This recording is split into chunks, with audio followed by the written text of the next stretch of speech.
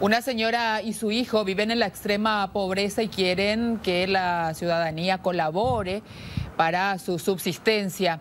Allí están las imágenes de el hijo que utiliza un bastón precisamente para hacer un recorrido por el patio de la casa, mientras que la señora se encuentra postrada en la cama. Nuestro compañero Freddy Valenzuela está para brindarnos mayor información y también el contacto para ayudar a esta familia. Freddy.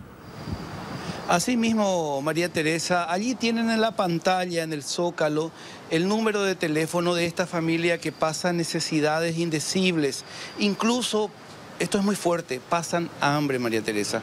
¿Cuál es la historia de este hombre y su madre? Eh, la señora tiene 73 años, eh, sufrió una ACV, quedó postrada en la cama. En ese lapso de tiempo su marido estuvo internado durante poco más de un mes. Durante ese tiempo el único hijo de la pareja estuvo con su padre en el hospital él teniendo que manejar a su padre, el peso, eh, trasladarlo de un lugar a otro, empezó a tener problemas lumbares. Presumiblemente eh, tuvo hernias de disco que nunca se pudo tratar por la situación de pobreza. Y decimos presumiblemente porque tampoco él nunca se pudo hacer ningún estudio médico para poder determinar qué es lo que le sucede. Actualmente eh, esta familia eh, no tiene ingresos económicos, el hombre no puede trabajar, todo el día está por su madre, hay que recordar, es el único hijo que, que tuvo esta, mujer, eh, viven en una situación de precariedad tremenda en el barrio Santa Rosa de la ciudad de, de Lambaré, sobre la calle Bonifacio Obando, entre Bogotá y Lima, es en donde se encuentran ellos. Les falta de todo, María Teresa, una heladera vieja que tal vez alguien ya no la use, pero que siga funcionando le va a venir muy bien a esta familia porque no tienen siquiera una heladera. En algún momento tuvieron que vender ese aparato para poder comprar alimentos, eh, mercaderías, cosas comestibles, pañal descartable para la señora.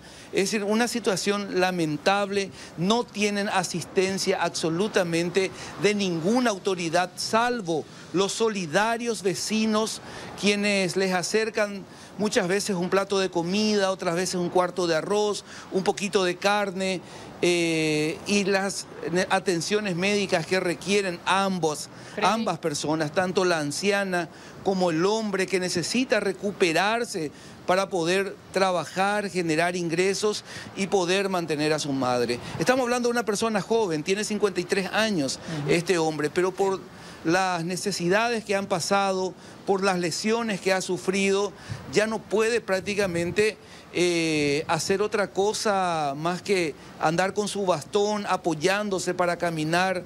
Y aún así él se desvive por, su, por su madre. Quiero compartir con ustedes la nota que nos daba el señor Inocencio. Sí, Freddy, antes de ir a la nota, una consulta. Eh, ¿Te llegaron a comentar si en algún momento intentaron gestionar la ayuda para la tercera edad, que en este caso le corresponde sobradamente? Ajá. Sí, María, te, decía, el único ingreso con lo que cuentan es ese sueldito de la tercera edad que tiene la madre. Ajá, ya, o sea, ella, sí tiene ese, ese pequeño sueldo, eh, con eso logran mantenerse, pero estamos hablando de un dinero eh, muy... No alcanza. Muy pequeño de cantidad, me refiero, que lo reciben no todos los meses, que tengo entendido que es cada dos meses que van recibiendo este, este dinero, pero esa es toda la ayuda que tienen porque después de otra manera el hombre no puede realizar otra tarea por, la, por, las lesiones lumbares que sufre.